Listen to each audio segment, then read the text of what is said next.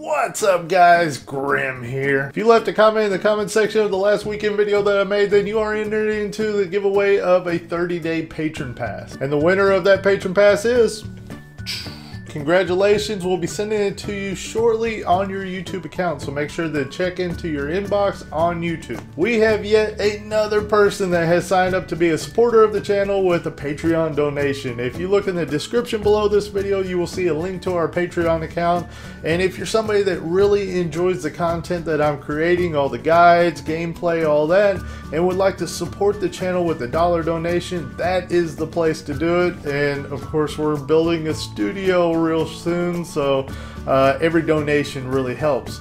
Uh, if you're somebody that just wants to kick back and enjoy the channel, that is very cool as well because every view counts.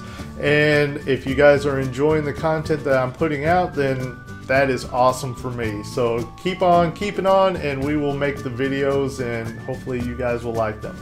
All right, so in celebration of more people supporting the channel with the Patreon account, we will go ahead and give away a couple things. We're going to be giving away a 30-day patron pass as well as a power pack. And if you are unfamiliar with what a power pack is, it's a bunch of items.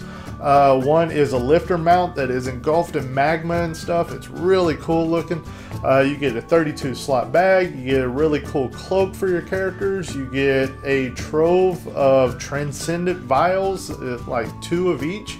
So there's a lot of cool things that you're going to be getting with this power pack. If you would like to take part in these giveaways, and we'll have two winners, one for the 30 day patron pass and one for the power pack. Uh, all you have to do is leave a comment in the comment section below with your character name and server. If you happen to be one of the winners, we will send you a message on YouTube, so make sure to check out your YouTube inbox.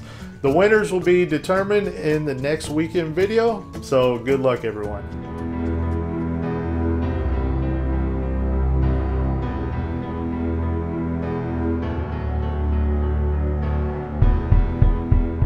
Rated T for Teen.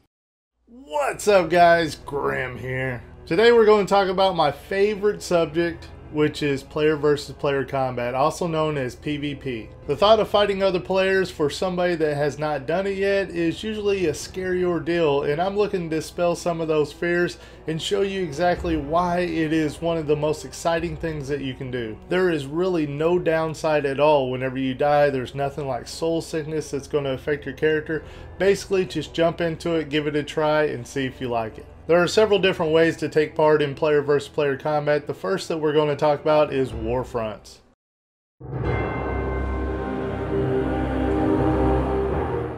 War fronts are instance matches where you get put onto a team and you take part in small scale combat in order to accomplish objectives and win the match for your team. There are many different types of war fronts, so let's go over the variations of them. The first warfront is flag capture, and this is basically where you're going to run around the map and try to capture the flags to put them into the allegiance of your particular team. The longer your team has control of a particular flag, the more points it will earn. Some flags do award more points than others, so keep that in mind. The two ways to win these maps is to accumulate enough points to reach the point goal, or else have more points than the opposing team whenever the warfront timer has been reached. The next type of warfront we're going to talk about is the assault type, and these are basically where you are trying to destroy one of the objectives that is controlled by the enemy team. The first team to destroy the objectives of the opposing team will be declared the winner, or else the one that has destroyed the most amount of objectives before the time limit has been reached. The third type of warfront we're going to talk about is martyrdom, and this is basically where you pick up an objective, and the longer that you're holding it, the more points that you will score for your team. The big trick is the longer the person holds the objective, the more damage that they will take over time every single tick.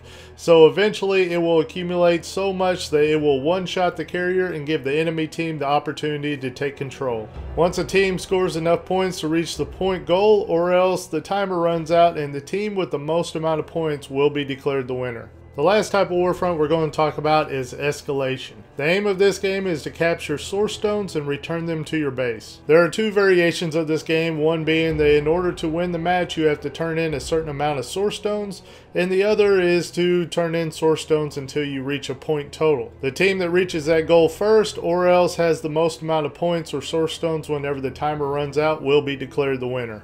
Now that we've talked about the various war fronts, now it's time to talk about the rewards that you can get from participating in them. Just for participating in the war front, you'll get favor every time a player is killed or else if the match ends. And this favor is used in order to upgrade your gear or buy consumables that can be applied to your gear or your character.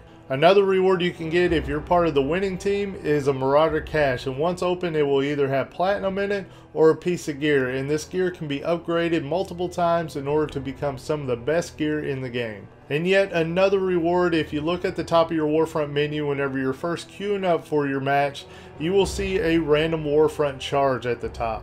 These are accumulated once every day up to a maximum of 7 and if you had chosen a random warfront while you still had a charge and you're part of the winning team you will get all the marks listed below. If you run out of warfront charges there are multiple ways in order to accumulate more. One being if you're a patron to the game you will have an ability to grant yourself 3 additional bonus charges every week. Another way is if you have credits on your character, you can open up the Rift store and buy additional Warfront charges from there. Last but not least, there are multiple weekly quests that you can obtain for your character and it will give you lots of rewards for accomplishing these quests in PvP. The quests range from killing a certain amount of players in Warfronts to winning a specific amount of matches.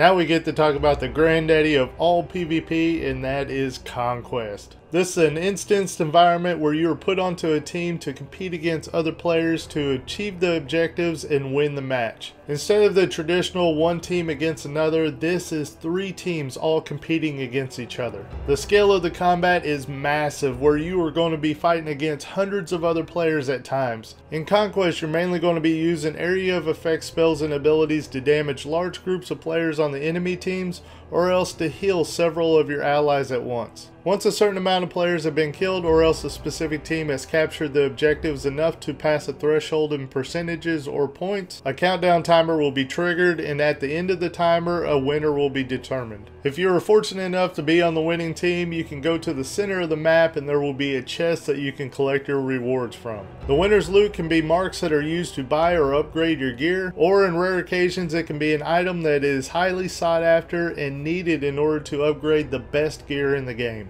Additional rewards that you can get for participating in Conquest is the weekly quests, and these range from killing a certain amount of players in Conquest to winning the Conquest altogether.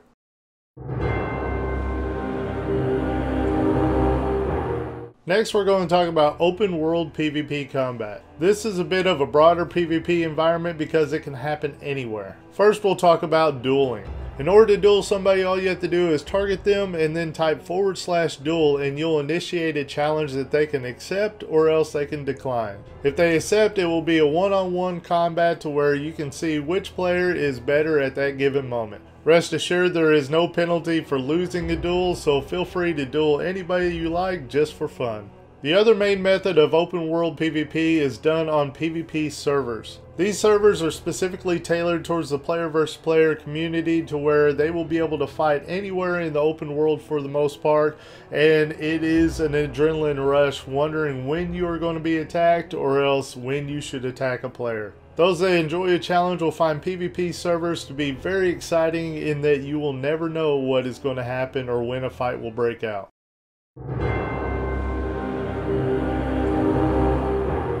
Finally, I'd like to talk about Dimension PvP. There have been many improvements to Dimensions to make it to where you can enjoy player versus player combat against your friends there, or else you can even take it a step further and hold a PvP tournament. This gives you the opportunity to be as creative as you would like and create the PvP environment that you would like to fight in or else have your tournament take place in. Set up an exciting PvP environment in your dimension and invite everybody to take part in it. Not only will it be fun for the competitors, it will be exciting for those watching it, and it will help out the community by contributing towards everybody getting together and having a good time.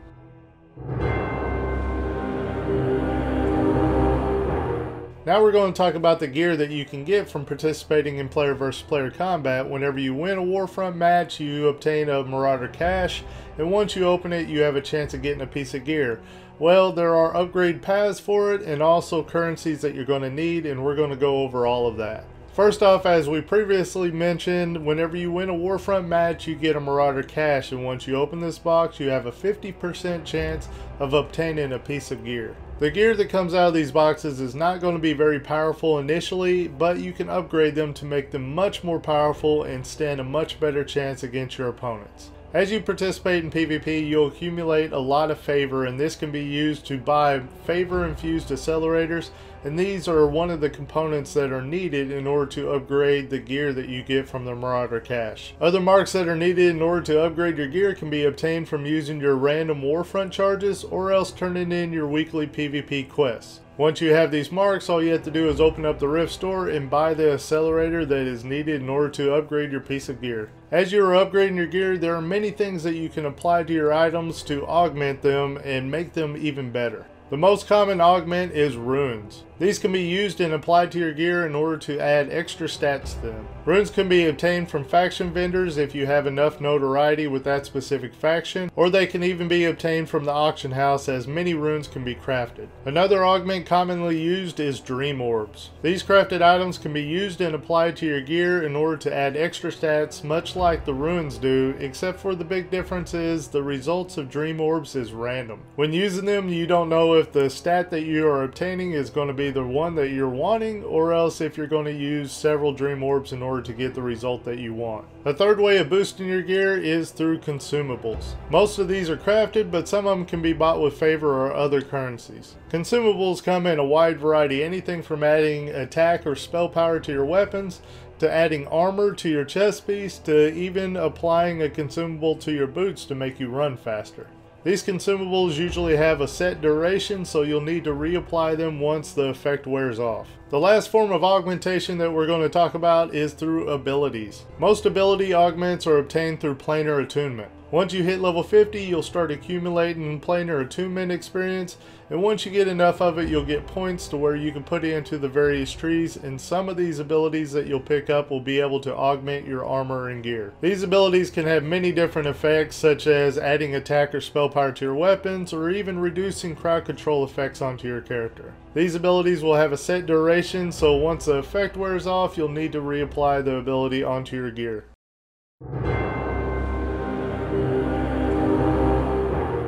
And finally, we're going to talk about prestige and achievements. The more you PvP, the more prestige you earn, and as you accrue this, you will eventually gain ranks in it. As you level up through the prestige ranks, you will unlock many different titles that you can display on your character and wear them like a badge of honor. If eventually you can reach the highest prestige rank and unlock the top PvP title, everybody will know that you're a seasoned veteran of battle and you have conquered thousands of foes.